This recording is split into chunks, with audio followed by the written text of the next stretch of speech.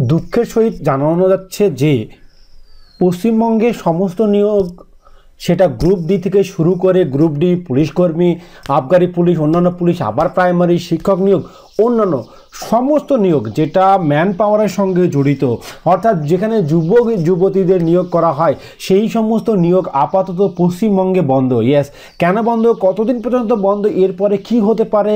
সমস্ত কিছু আলোচনা করব আমার এই ছোট্ট ভিডিওতে। অ্যাজ ইউজুয়াল তুমি যদি আমাদের চ্যানেলটিকে এখনও সাবস্ক্রাইব না করে থাকো, চ্যানেলটিকে অবশ্যই সাবস্ক্রাইব করো বেল আইকনটি প্রেস করো। কারণ সবার আগে, সবার প্রথমে আমাদের এই চ্যানেলটি তোমার জন্য নিয়ে আসবে বিশেষ সুযোগ সুবিধা। তো দেরি না করে আমাদের সমস্ত রকম ভিডিও আপনাদের সামনে স্ক্রিনে বেছে উঠেছে, যেটা পছন্দ হয় আপনি ভিডিও গিয়ে দেখে আসুন। তো চলুন, আমি সরাসরি আপনাদেরকে অফিসিয়াল নোটিশ অর্থাৎ পশ্চিমবঙ্গ সরকার দ্বারা প্রকাশিত যে নোটিশটা পেশ করা হয়েছে সেটা আপনাদের সামনে ভেসে উঠেছে। এখানে হয়তো লেখাগুলি ছোট ছোট বলে আপনাদের অসুবিধা হতে বুঝতে। তবুও আমি এখানকার মেন পয়েন্টগুলো আপনাদের সামনে তুলে ধরবো। এখানে লেখা আছে, দেখুন যে পয়েন্টগুলো এখানে বলা হয়েছে বা যে কথাগুলি বলা হয়েছে, যেহেতু কোভিড নাইন্টিন ভাইরাসে যে অফিসিয়ালি অনেক কিছু ফাইন্যান্সিয়াল লস হওয়ার ফলে কিছু কিছু স্টেপ নিতে পশ্চিমবঙ্গ সরকার বাধ্য হয়েছে। সেই স্টেপগুলির মধ্যে কি কি আছে, সেগুলো আপনাকে দেখাই। প্রথমে দেখছেন এখানে পয়েন্টগুলো লেখা আছে, সেই পয়েন্টগুলো আপনাকে ব্যাখ্যা করার চেষ্টা করব। প্রথমে বলা হয়েছে যে কোন এক নম্বর পয়েন্টে যেটা বলা হয়েছে যে কি বলা হয়েছে? কোনো রকম নতুন কোনো স্কিম নেওয়া হবে না। অর্থাৎ নতুন কোনো স্কিম কিন্তু এখানে আপনি ব্যবহার করতে পারবেন না, অর্থাৎ নতুনভাবে কোনো স্কিম নেওয়া হবে না। দুই নম্বর বলা হয়েছে যে যে কেসগুলি যে স্কোপগুলি অ্যাক্টিভ আছে, সেই কেসগুলি আপাতত না বাড়াতে, অর্থাৎ এর জন্য না এগোতে বলছে পারলে স্টক করতে। তারপরে বলা হয়েছে কোনো নতুন ধরনের গাড়ি বা তেমন কিছু কেনা হবে না। যাই হোক আরও কিছু বলেছে। যদি প্রয়োজন মতো, এবার বলা হয় দেখুন যদি কোনো মিটিংয়ে মিটিংয়ে যে সমস্ত অ্যাডিশনাল জিনিস দরকার পড়ে যে সমস্ত রিফ্রেশমেন্ট জিনিস দরকার হতে পারে, সেগুলি কিন্তু মিনিমাম প্রোভাইড করতে হবে। সেগুলি বন্ধ হয়েছে। নতুন কোনো গাড়ি বা ভেহিকেল বা জিনিসপত্র কেনা যাবে না। কোনো বিল্ডিংয়ে অফিসিয়াল বিল্ডিংয়ে যে কাজগুলি মেরামত থেকে শুরু করে রং করা থেকে শুরু করে কিছুই করা যাবে না। এই কথাগুলি পারমিশন দিয়েছে। এবার আপনাদের সামনে যে পয়েন্টটা আনব, যেটা আপনার জন্য বা তোমার জন্য সব থেকে গুরুত্বপূর্ণ, যেটা নিয়ে আপনি এখন দ্বিধাগ্রস্ত হয়েছেন, সেই নাম্বার পয়েন্টটা আপনাদের সামনে তুলে ধরবো।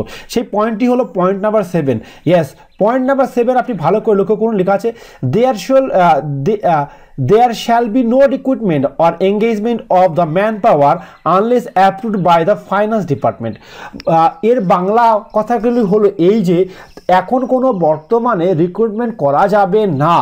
কোনো মানুষকে যুবক যুবতীদের নিয়োগ করা যাবে না। যতক্ষণ পর্যন্ত ফাইন্যান্স ডিপার্টমেন্টের অ্যাপ্রুভাল পাবে। এর মানে হচ্ছে আপনি যদি আবগারি পুলিশ হন তাহলে এখনও নিয়োগ হবে না। আপনি যদি নর্মাল পুলিশ হন, তাও নিয়োগ হবে না। আপনি যদি আপার প্রাইমারি ক্যান্ডিডেট হন, তাও নিয়োগ হবে না। সুতরাং সমস্ত কিছু পিছিয়ে গেল। এবার পরবর্তী প্রশ্ন, যে কতটা পিছিয়ে গেল? এই বছর কি নিয়োগ হবে না?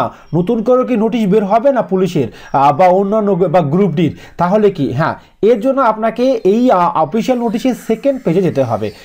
আমি আরেকবার বলে দিই কী কথা আমি বলতে চাইছি যদি আপনার বুঝতে অসুবিধা হয়। দেখুন, আপাতত নিয়োগ বন্ধ ইয়াস আপাতত নিয়োগ বন্ধ। সেই নিয়োগ কতদিন পর্যন্ত বন্ধ? সমস্ত কিছু। সেটা গ্রুপ ডি থেকে শুরু করে গ্রুপ ডি থেকে শুরু করে গ্রুপ ডি থেকে শুরু করে police yes police upper primary ঠিক আছে না? Upper primary police upper primary এবং অন্যান্য যে সমস্ত নিয়োগগুলি আছে পশ্চিমবঙ্গে অনেক ডিপার্টমেন্টের নিয়োগ আছে, সেই ডিপার্টমেন্টগুলি পুরোপুরি বন্ধ। এর জন্য আপনাকে কী করতে হবে? এবার কথা হলো কতদিন পর্যন্ত বন্ধ?